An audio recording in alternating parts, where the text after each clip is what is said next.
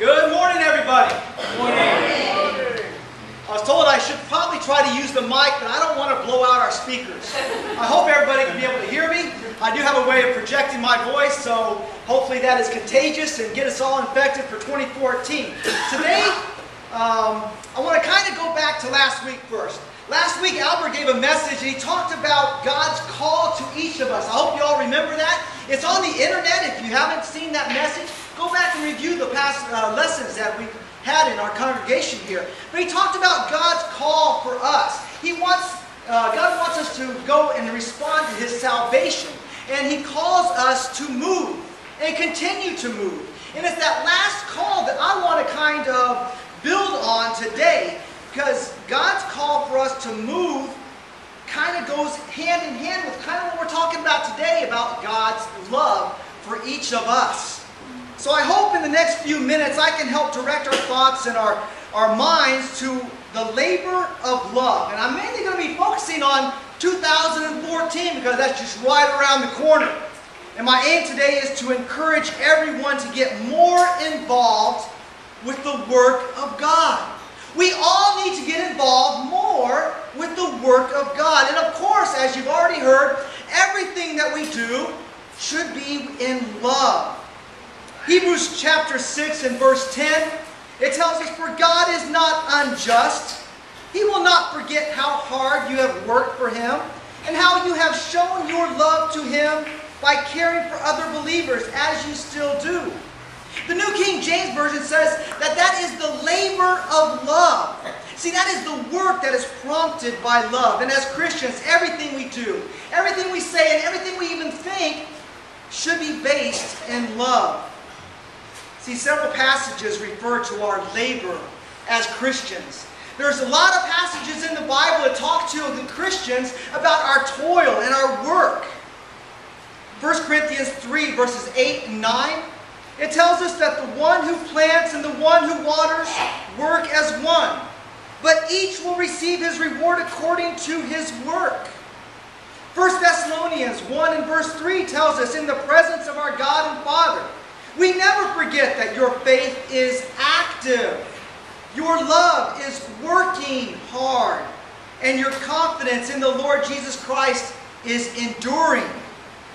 See, so, since the Bible talks about the labor and the work of Christians, I want to take a few moments today so that we can talk about it as well. Let's talk today about our work and our labor of love. See, whenever you hear about the church's labor, the church's work, first thing that most people think about is the preacher's job, preaching the word, teaching others. And see, this should be not part of only the preacher's job. This is every Christian's job. To go out and teach others, to preach the word. It should be part of your lifestyle. To look for those opportunities that God presents to each one of us in order to tell others about the good news. 2 Timothy 4 and verse 2 tells us, Preach the message. Be ready, whether it is convenient or not reprove, rebuke, exhort with complete patience and instruction. Over in Matthew 28, verses 19 and 20, Jesus came to them and said, Therefore, go and make disciples of all nations, baptizing them in the name of the Father, and the Son, and the Holy Spirit, and teaching them to obey everything I have commanded you. And surely I am with you always to the very end of the age. In this passage here, it's talking about basically two ways that you can teach people. There's two different areas where you teach. You teach someone to become a disciple. You are training them to be disciples, to learn the, the Word of God, and so that they can uh, obey. Basically, you're teaching them to be a Christian. But see, the thing that the church often neglects is that second teaching there after they have been, after they have obeyed the gospel, after they have been immersed into Christ and they are now in Christ, we are to continue teaching them. We are to continue training. All of us need to continue in our training so that we can mature in Christ. See, we are to preach and teach the Word at home. We are to preach and teach the Word in our community. And we are to preach around the world. See, the New Testament church must be missionary minded. That's what the original church, the early church was. They went out everywhere teaching. We are to do the same thing. But see, pulpit preaching is not all like we sometimes think of the work. It's not only the work of the preacher to stand up on Sunday mornings and preach the word. See, some believe that that is only the preacher's job. That's why we're paying David, so let him go out and do the work for us. See, that's not the way it works. Every Christian it's their duty to go out and preach and teach others about the good news about Jesus. It is every individual Christian who is responsible to influence others in the right direction in life. Everyone has a sphere of influence. You may not even know what your sphere of influence is, but you do have a sphere of influence. It may be in your job, it may be in your school, it may be just around in your community. But everyone has a sphere of influence that only you can reach. And it is your job to walk the walk and to talk the talk. Over in Acts chapter 8, after the, uh, the, the, the, leader of that church at that time, one of the, the leaders, Stephen, was stoned. And the persecution began for the early church. It says in verse 4, But the believers who were scattered, they preached the good news about Jesus wherever they went. Wherever they went, they preached the good news. They continued on in perseverance. We need to do the same thing. We need, no matter where we go, we need to tell others. See, there was no professional class of preachers called the clergy, with the others called the laity. Every Christian has a work to do. Everyone has different talents. Everyone has different skills, and everyone has different interests. Those who could speak publicly, they did so. Some were better at teaching classes. And they, we see that over in Ephesians chapter 4. But see, all, no matter what their skills, no matter what their talents were, all were gospelizing. I'm not even sure that's a real word, but it works for me. They were all gospelizing. They were telling others about the gospel. And the gospel is the good news of Jesus Christ and what he has done for each of us looking back at 2013, our family here had a great year. You just look around and we've grown. But see, we can't stop. We can't rest on our past accomplishments. Looking forward to 2014, we need to make sure every one of our family members here know how they fit into the family. And with everyone working together, we can make 2014 a year of revival for Hawaii. But we all have to work together. Do you know what your talents and skills are? Do you know that your interests are needed here in this body? We need to put everyone to work and we need to use everything available to us. And it doesn't have to be something big or something we consider major. Are you good at organizing? Are you good at cleaning or just planning? Or are you good at preparing things? We can put that skill, we can put that, that to use here in the body. Everything that we have, we need to use. And we need to use everybody, old or young, girl, boy, all should be active in the body, working in love. See, there's more, though, than just preaching and teaching. It's more than just standing up here and, and, and pulpit preaching, so to speak. We also need to focus on outreach. We also need to focus on helping the needy. Galatians 6 and verse 10 says, So then, while we have opportunity, let us do good to all people, and especially to those who are of the household of faith. We need to look out for other people around our community, those in need. James says it this way James 1 and verse 27 Pure and genuine religion in the sight of God the Father means caring for the orphans and widows in their distress and refusing to let the world corrupt you. James only uses two categories of people in need at this time the widows and the orphans. Like we give uh, to Nobelius here. We also need to focus on our community around us. How many times do we see people in need every day around us? so many times in the past, uh, United States especially, we, people kind of rely on, on their jobs and they have hope and, and faith in their savings account or, or their friends and their family. And, and lately, because of our economic situation, people have lost their jobs and lost their savings or lost their homes even. And they've lost their hope because of that. But see, we have a hope that is enduring and, and eternal. We have the message that we need to give to them so that they can stay in hope, the right hope, the hope of Christ Jesus and what he represents for us. But see, that's not just for the congregation, that's for every Christian.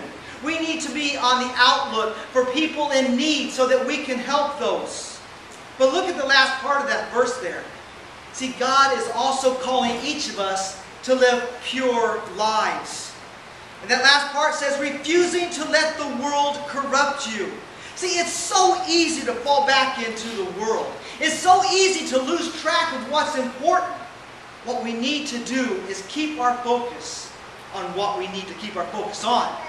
And that is Jesus, our Savior. If we keep our eyes on Him, then we won't stray away.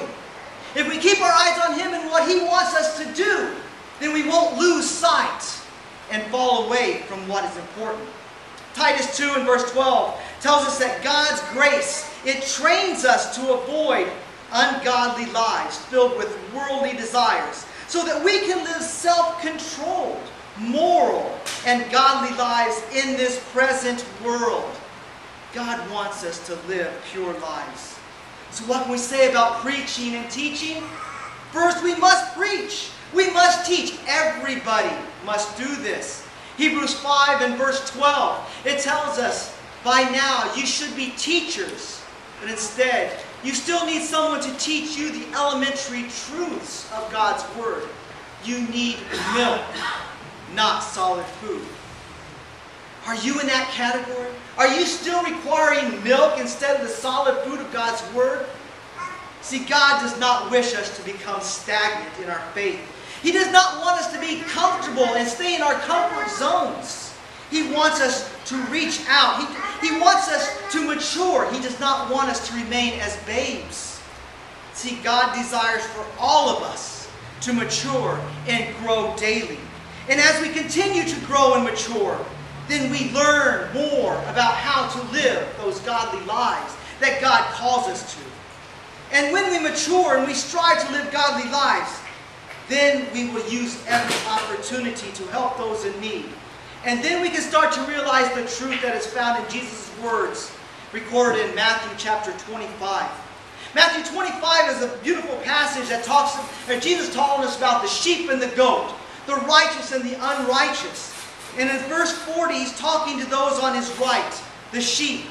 And the king shall answer and say to them, Verily I say unto you, inasmuch as ye have done it unto one of the least of these my brethren, ye have done it unto me. When we help others, that glorifies God. When we look out for others that are in need, that makes God happy. God blesses us so that we can turn around and be a blessing to others. Are you being that blessing to others around you? See, I hope you are. I hope you have set in your heart and your mind to be a worker for God. Because the laborers are few. Matthew 9 and verse 37 says, Then he said to his disciples, The harvest is plentiful, but the workers are few. The field is ready for harvest. It's an abundant harvest, but there's not enough workers to go out in the field. There's not enough laborers. The harvest of souls is plentiful, but there's not enough to teach all those who desire to be taught. Even today, there's not enough workers going out to tell others the good news. See, in the past in the United States, we have had great shortages. We've had fuel shortages. We've had food shortages. But the church has a labor shortage. There's not enough workers to go into the field. There's not enough workers to go out into the workforce, into the schools. into your community and tell others about the good news that the world is longing to hear. Matthew 9 and verse 38 tells us what we can do. So pray to the Lord, who is in charge of the harvest. Ask him to send more workers into his field. We are to pray. But I hope you realize that we cannot pray for laborers without knowing that we need to be laboring ourselves. When we pray for others to go out in the field, we're actually praying for ourselves to be part of that group going out. We all need to be workers going out into the communities, telling others. All Christians have the duty to pray that faithful laborers will go into the harvest to gather souls. But sadly, many do not put this high on their priority list. Sadly, because it doesn't pay very well. You don't get paid for going out working for God like that. It's not a monetary thing. And a lot of people are looking for that. Over in John chapter 4, Jesus was talking with a Samaritan woman, and his disciples returned and wanted him to, to eat. And over in John chapter 4, he says, My food, said Jesus, is to do the will of him who sent me and to finish his work. Don't you have a saying?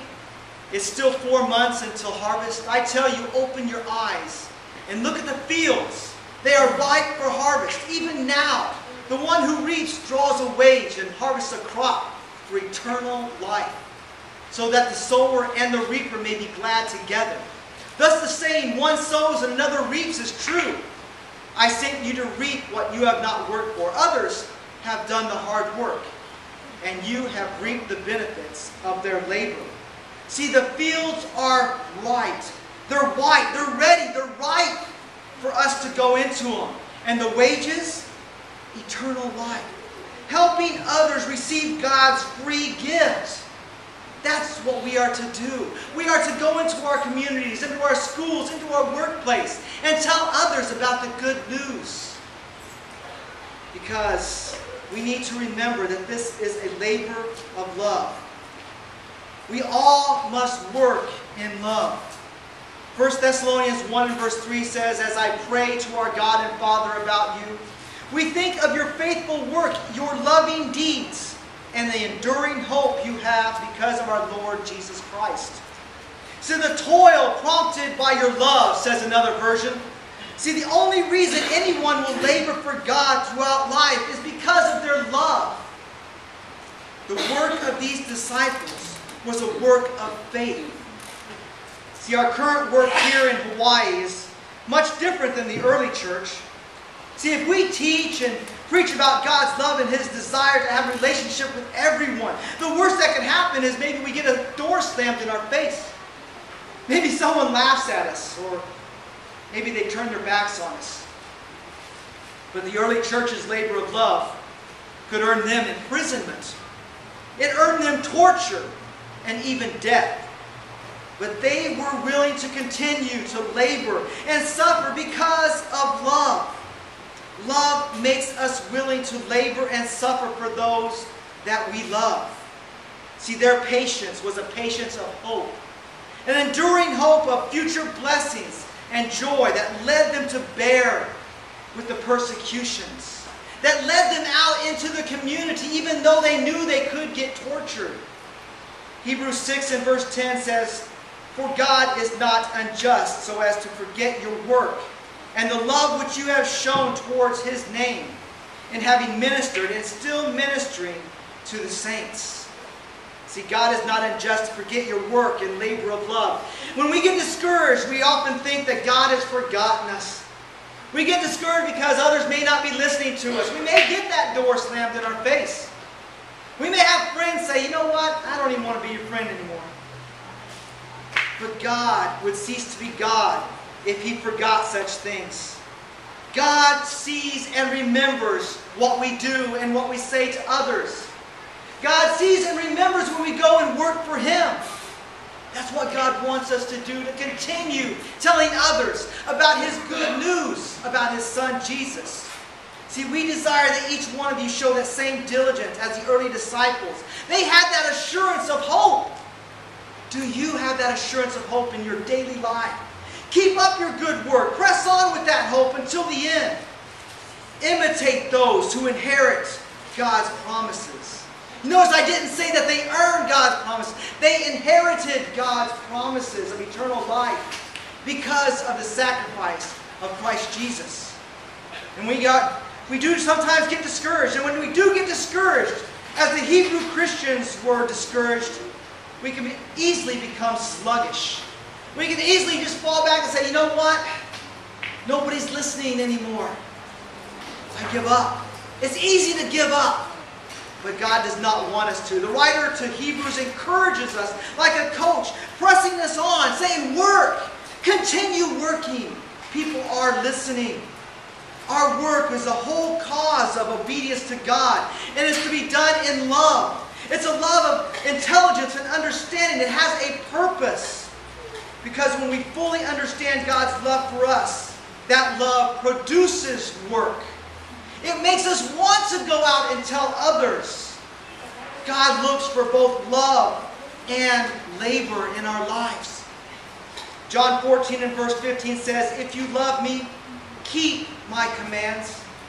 See, true love is active. True love is diligent and untiring. And love is the motive that we should have whenever we go out into the world. No matter who we're talking to, how unlovable that person may be or seem to us, we need to love others. It's not for our self-glory. It's not because, oh, I can pat myself on the back saying, I talked to somebody today. It's not about that. It's about caring for other people so much that you want them to also become part of God's family. Do not become sluggish. Don't get discouraged because that makes us weak. It makes us lazy and unmotivated. It's that kind of attitude that makes us feel like giving up. See, David encouraged himself in the Lord. And so can you. We all need to encourage ourselves in the Lord by praying. Continue to pray for the congregation here. Continue to pray for those you're going to talk to. You can encourage yourself through Bible study. We all need to stay in the Word of God on a daily basis. Not whenever we feel like it or feeling down or oh, something's wrong in my life, so I guess I'll open up the Bible and see if there's answers there. It's not that way. We are to be daily in the Word of God. We need to encourage ourselves in the Word. We also need to get closer to the body. This is the body. Look around you. This is the body of Christ as we work in our community around us. We need to attend worship more. Not just on Sunday mornings.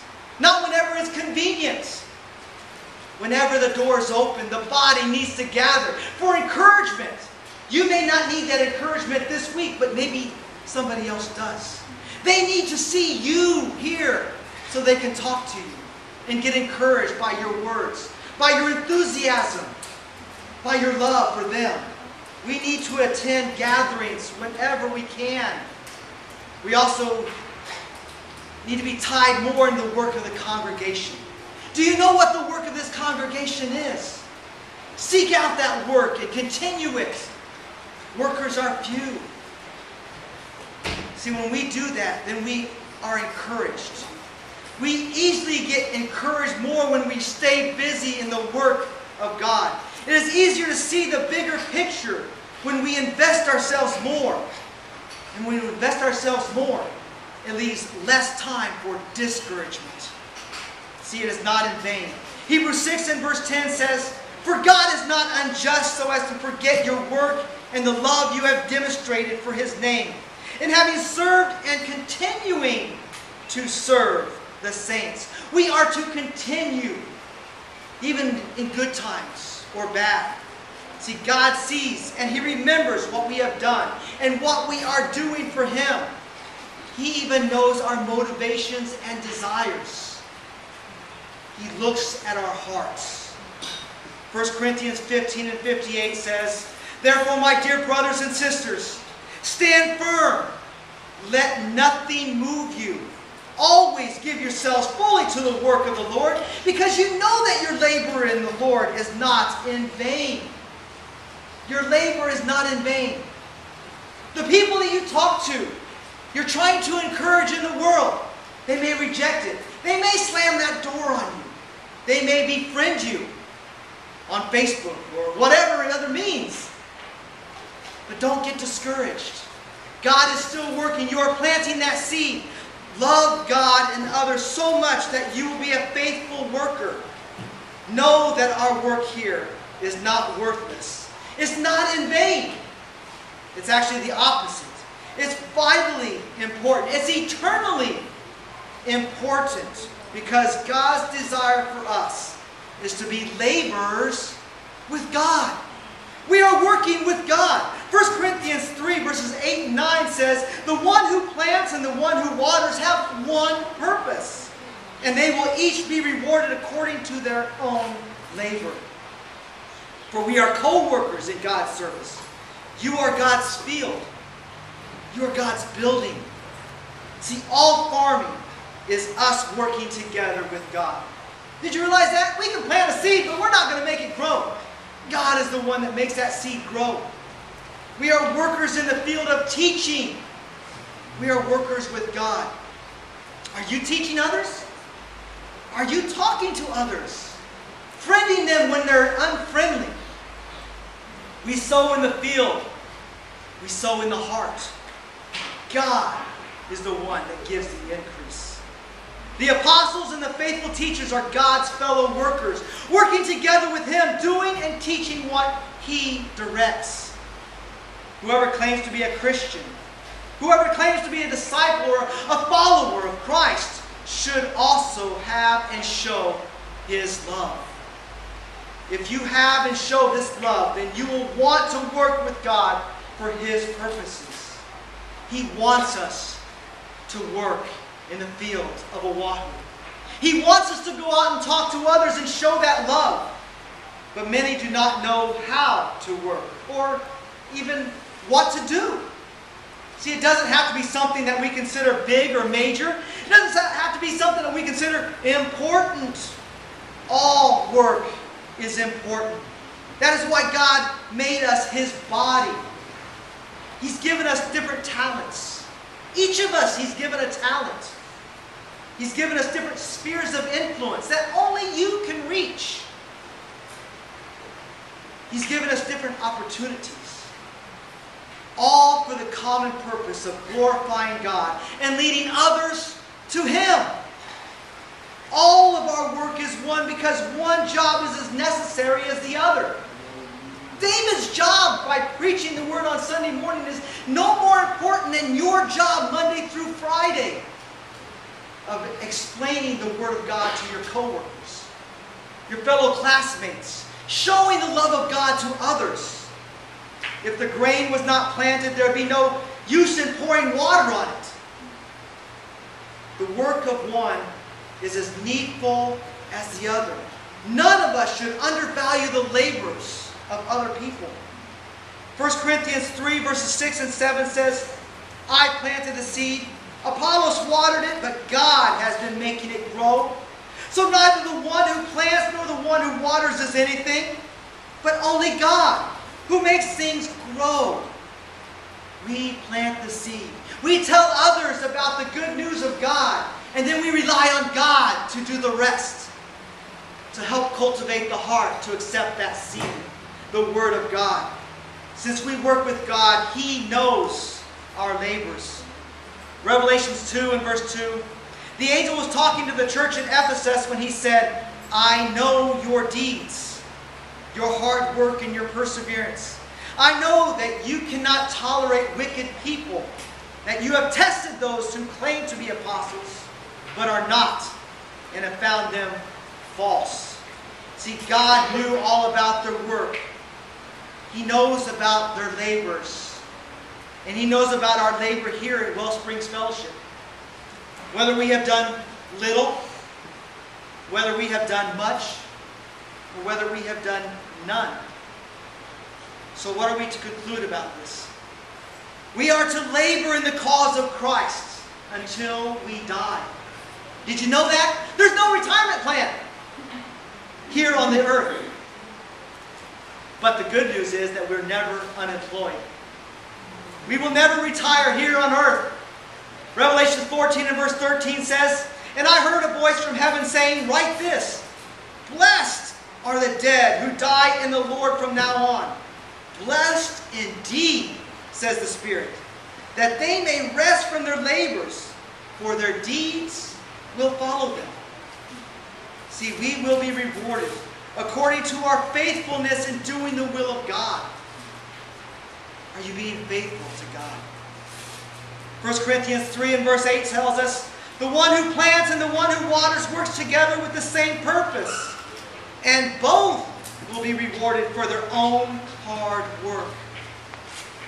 Both will be rewarded. Are you laboring with love for God? See, because of our physical calendar, we all have a great opportunity to set our hearts and our minds on the important things that we need to be doing because of the new year. A lot of people make New Year's resolutions. Do you know that we can do that any time of the year? We can set our hearts and our minds on doing the things of God. Traditionally in the church, 90% of the work gets done by 10% of the people. That's a standard statistic across the board.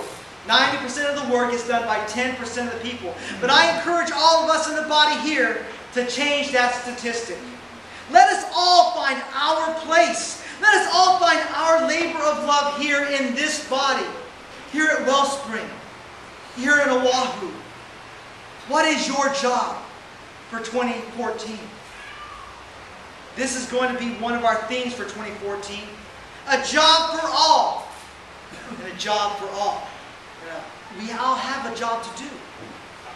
If you do not know your skills, if you don't know where to start or what needs to be done, all you need to do is ask the leadership team.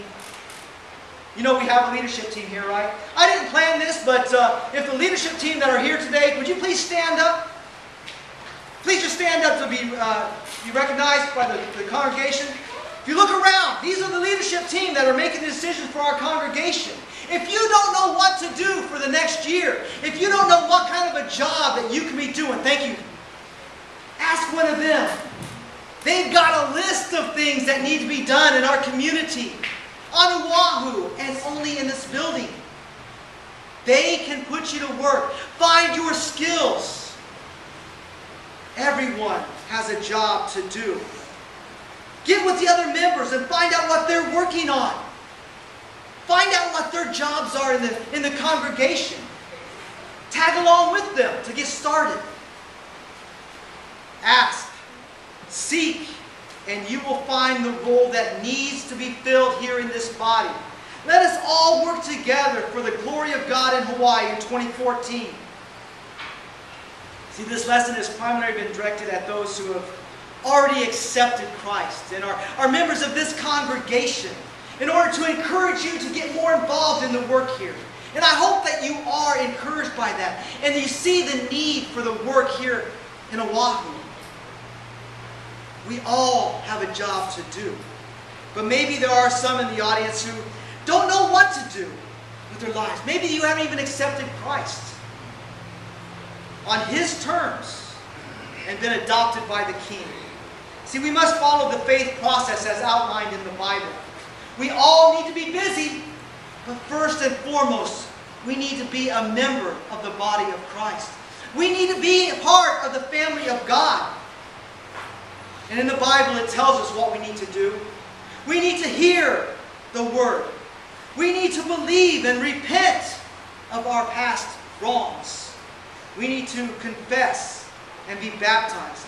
See, this is not a a checklist or a process. This is a, this is a process of our hearts that we need to do self-reflection on. And we have to have an open mind, open heart, and an open Bible in order to fully study and understand what God is telling and wants of each of us. Because then he says that we need to live a faithful life, which includes working in love for him. Are you working in love for God. You have a sphere of influence that you may not even realize. What are you doing with that sphere of influence? God is calling you to use it for His glory, for the church, for God. Whatever your needs today, come forward as together we stand and sing God's song of invitation.